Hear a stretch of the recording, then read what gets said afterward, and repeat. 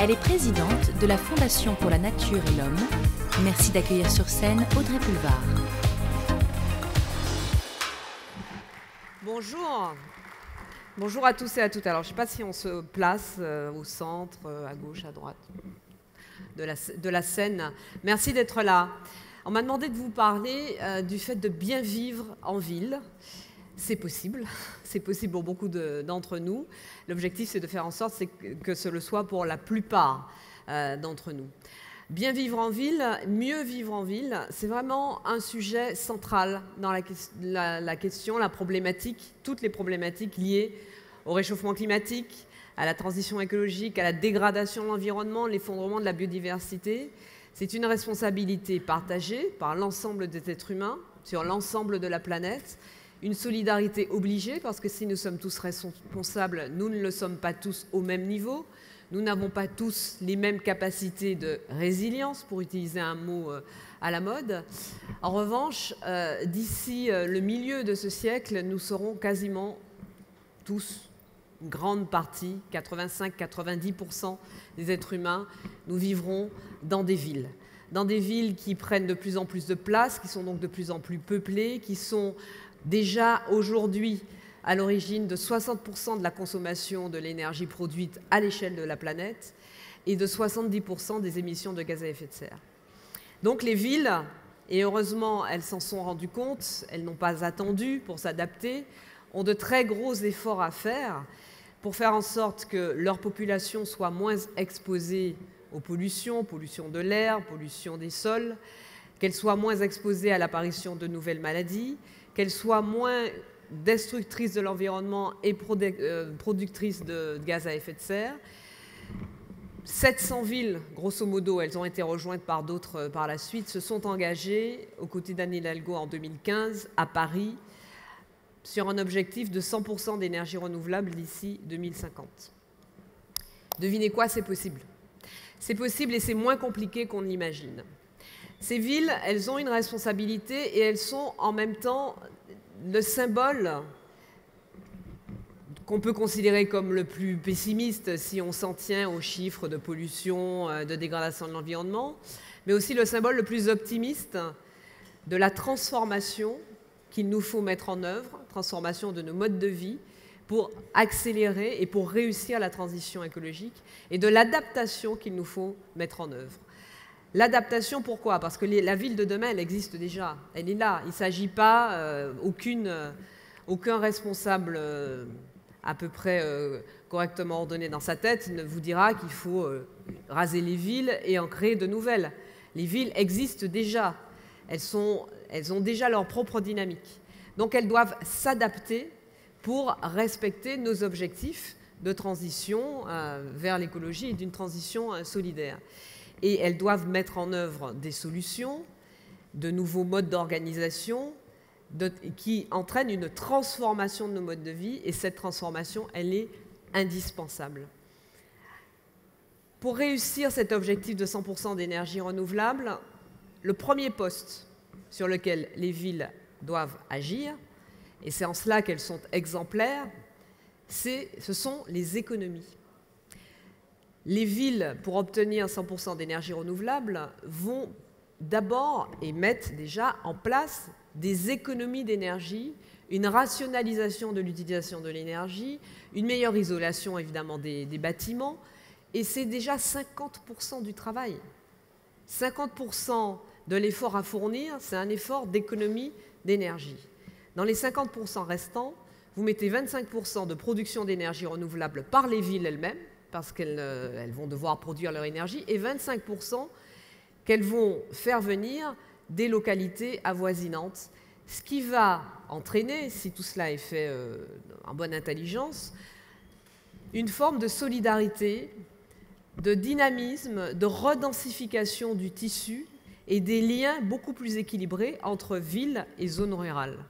Et ça aussi, cet échange, cette cohésion entre les territoires, ça fait partie des transformations que nous devons mettre en œuvre pour réussir la transition écologique. Alors à la Fondation euh, pour la nature et l'homme, nous travaillons sur beaucoup de, sujets qui concernent la vie au quotidien des citoyens, qui concerne les engagements politiques des dirigeants, qui concerne le court terme aujourd'hui, les, solutions à mettre en œuvre dès aujourd'hui, mais évidemment en pensant le long terme. Et pour ce qui concerne euh, l'organisation des villes, on a évidemment, euh, je ne vais pas pouvoir en, 20 minutes euh, vous expliquer tout ça, mais nous avons évidemment beaucoup de propositions sur le transport, sur les, mobilités, sur le fait de relancer, de rénover et d'entretenir les réseaux, réseaux ferrés, réseaux de transport public, sur le fait de réduire la place de la voiture, pas seulement en passant du véhicule thermique au véhicule électrique, mais en repensant l'organisation des villes, les déplacements, en, développant par exemple le télétravail, en repensant les mobilités avec des mobilités combinées, des mobilités multiples, on arrive de l'extérieur de la ville, bon, peut-être qu'on arrivera en train ou on arrivera en voiture, on, laissera on laisse sa voiture sur un parking, on, continue en train, on continue en métro ou on continue euh, en vélo, ça s'appelle euh, des modalités multiples. Il nous faut dans les villes, évidemment, de grands plans euh, qui, qui, incitent à l'usage de ce qu'on appelle soit les mobilités actives, soit les mobilités douces. Alors je parle du vélo par exemple. Vous pouvez considérer qu'un vélo électrique, c'est de la mobilité douce et qu'un vélo classique, c'est de la mobilité active. Personnellement, je vous recommande plutôt le vélo classique, c'est meilleur pour la santé, mais bon, il y a des villes qui ne sont pas plates, et donc euh, on n'a rien contre le, contre le, vélo électrique, euh, évidemment. Transport, mobilité, déplacement, déplacement domicile-travail, ce sont des, postes importants euh, d'émissions de gaz à effet de serre. Alimentation, restauration. Nous avons aussi euh, et ça entre dans, le comportement vertueux que les villes mettent en œuvre. Nous avons aussi des propositions concernant la restauration euh, Peut-être que vous ignorez euh, que chaque jour en France, on sert en restauration collective 30 millions de repas et qu'au bout, bout du compte, on en est grosso modo à 8 milliards de repas par an qui sont servis dans les crèches, dans les écoles, dans les collèges, dans les lycées, dans les hôpitaux, dans les maisons de retraite, dans les prisons, dans les administrations. Nous avons mis en place, nous ne sommes pas les seuls, mais nous avons mis en place une garantie qui s'appelle Mon Resto Responsable et qui permet à des collectivités euh, d'engager un chemin vertueux pour arriver à un objectif qui va être bientôt fixé par la loi de 50% de produits bio ou labellisés dans euh, le plateau qu'ils fournissent à, leurs convives. On appelle ça des convives. Et même avec nous et avec notre garantie, ils peuvent dépasser ce cap de 50%. On a signé en deux ans 186 euh, conventions avec des organismes. Ça fait partie, et, ce, dispositif, encore une fois, nous ne sommes pas les seuls à le défendre, ce dispositif fait partie de ce que les villes peuvent mettre en place non seulement pour que les convives euh, s'alimentent de façon plus satisfaisante, mais aussi puisque le principe de mon resto responsable, c'est de faire appel au, tissu économique de production agricole, par exemple locale ou régionale, mais aussi de relancer l'économie, l'économie de proximité. Et puisque je vous parle d'économie de proximité, je peux aussi vous parler de l'économie circulaire, ce n'est pas tout à fait la même chose, mais l'économie circulaire, le recyclage, la réutilisation, que de toute façon, il va nous falloir mettre en œuvre de façon massive et qui est là aussi un élément incontournable pour les villes qui veulent, euh, qui veulent être vertueuses en matière de transition écologique. Bien vivre dans la ville, mieux vivre dans la ville, c'est a priori telles que les villes qui se sont engagées à 100% d'énergie renouvelable d'ici 2050. Euh, le pense, c'est a priori réduire donc la place véhicule, avoir moins de pollution, des transports plus durables, une, alimentation, un circuit alimentaire de meilleure qualité euh, pour, les, euh, pour les habitants, pour les citadins et les citadines dans, ces villes. C'est utilisé pour la partie donc au-delà des économies, la partie des énergies renouvelables qu'il va nous falloir euh, produire, créer, inventer. C'est utiliser du solaire, du végétal, de la biomasse, du, biogaz. Euh, c'est utiliser de l'éolien pour les villes euh, qui sont côtières. Tout cela est déjà en œuvre. Tout cela commence à produire ses effets. Et dans le monde entier, d'ailleurs c'est assez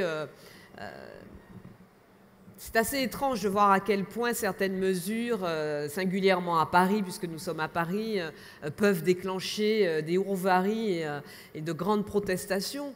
Dans le monde entier, des villes de petite, de moyenne, de grande taille, de taille plus importante que Paris, ont lancé, se sont engagés en collaboration et en concertation avec les populations, des plans très ambitieux d'utilisation des énergies renouvelables, d'élimination de, baisse drastique de leurs émissions de gaz à effet de serre et surtout d'amélioration des conditions de vie euh, de ceux, et celles qui y vivent. Je vous disais que les villes, euh, finalement, dans les efforts qu'elles font pour euh, mettre en œuvre cette transition écologique, mettent en œuvre, en route la transformation nécessaire de nos modes de vie.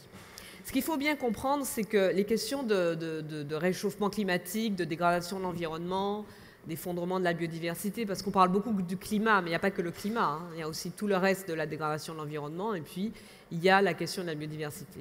Ce ne sont pas des questions, contrairement à ce qu'on peut entendre euh, matin, midi et soir, ce ne sont pas des questions de bobos, ce ne sont pas des questions anecdotiques, ce ne sont pas des questions euh, de gens riches qui, voudraient, qui sauraient pour tous les autres ce qu'il faut faire. Ce sont des questions éminemment sociales, politiques, et qui supposent, pour freiner le phénomène du réchauffement climatique, pour s'adapter au, au, phénomène du réchauffement climatique, qui supposent d'abord de s'attaquer aux questions de précarité et d'inégalité. Pourquoi? Parce qu'aujourd'hui, ceux qui polluent le plus sont ceux qui consomment le plus. Ceux qui détruisent le plus l'environnement sont ceux qui sont les plus résilients. C'est-à-dire qu'à l'échelle des pays comme à l'échelle des individus, plus vous avez du pouvoir d'achat, plus vous êtes un pays riche, plus vous êtes un individu avec un fort pouvoir d'achat, plus vous détruisez la planète, mais en même temps, vous avez plus de moyens de vous protéger des effets de cette destruction. C'est ce qu'on appelle la résilience. Et donc, vous n'avez pas vraiment beaucoup d'intérêt à ce que ça change, sauf à être particulièrement responsable et vertueux. En revanche, quand vous êtes à l'échelle d'un pays ou à l'échelle des individus, tout en bas, ou même au milieu, eh bien, vous consommez moins, vous détruisez moins, et ça, euh, les chiffres sont imparables. Hein je vous en donnais un ou deux tout à l'heure, vous consommez moins, vous détruisez moins. En revanche, vous êtes totalement vulnérable par rapport aux effets du réchauffement climatique qui n'est pas produit par vous, qui est produit par d'autres. Vous êtes totalement vulnérable et en plus, vous n'avez pas vraiment voix au chapitre. Parce que je ne vous apprendrai rien en vous disant que ce ne sont en général ni les plus pauvres dans la société, ni les pays pauvres qui décident de la marge du monde. Mais au bout du compte, at the end of the day, nous sommes évidemment tous concernés. Alors, je vais, faire, appel au meilleur de ce que nous avons euh, tous en nous, l'empathie, le goût de l'autre, le sens de la responsabilité. Mais même sans faire appel à cette partie-là, même de façon très cynique, très pragmatique, aujourd'hui déjà, en 2018, il n'y a pas un seul être humain sur Terre qui soit à l'abri des conséquences du réchauffement climatique. L'air pollué, que vous soyez pauvre, que vous soyez riche, vous le respirez de la même façon. Hein. Alors, encore une fois, vous avez plus ou moins de, de moyens de vous en protéger. Il n'y a pas un seul endroit du globe qui soit à l'abri des conséquences aujourd'hui du réchauffement climatique. Et ces conséquences, évidemment, elles vont être de plus en plus graves, de plus en plus importantes si nous n'engageons pas de façon très forte et très profonde les transformations de nos modes de vie qu'il nous faut mettre en œuvre et que nous n'aurons d'autre choix que de mettre en œuvre. Donc si aujourd'hui personne ne peut s'en prémunir, ce sera encore moins le cas demain. Mais nous avons un ensemble de solutions qu'on peut mettre en œuvre. Vous savez, ce, qui est, frappant avec la question du réchauffement climatique et de la dégradation de l'environnement, c'est que absolument tous les constats sont faits. On sait, on a les prévisions, alors on a du mal à imaginer ce que pourrait donner un réchauffement à 4 degrés ou plus d'ici la fin du siècle, mais on a les scénarios, on a les hypothèses, on a la démonstration euh, des, des, décennies euh, précédentes on sait, ce qui se passe et on sait grosso modo ce qui va se passer et quels sont les scénarios pour que ça se passe plus ou moins bien ou plus ou moins mal. On connaît les solutions et les transformations à mettre en œuvre. dans les modes de transport, les mobilités, l'alimentation, l'agriculture, la consommation, euh, dans les échanges. On sait, les scénarios, ils existent. Les propositions politiques, elles existent. Mais nous ne les mettons pas en œuvre. Nous n'aurons d'autre choix que de les mettre en œuvre si nous, ne voulons pas qu'un monde qui aujourd'hui est déjà, alors que nous avons tous les moyens de nourrir l'ensemble de la planète, dans le monde dans lequel nous vivons aujourd'hui, il y a 900 millions à 1 milliard de personnes qui chaque jour ne mangent pas à leur faim. Et il y en a 3 milliards qui survivent avec 2 dollars par jour. On vous prend souvent le, chiffre 1 dollar par jour. Ah oui, il y a 1 milliard de personnes qui vivent avec 1 dollar par jour. Passer à 2, c'est 3 milliards de personnes, c'est-à-dire la moitié de l'humanité. Et ça ne va pas s'améliorer si nous ne faisons pas en sorte d'être un peu plus solidaires, d'être un peu plus partageurs, d'être un peu plus responsables. C'est le travail des gouvernants, c'est le travail des politiques, c'est aussi notre propre responsabilité. Je vous donne deux chiffres et j'en termine.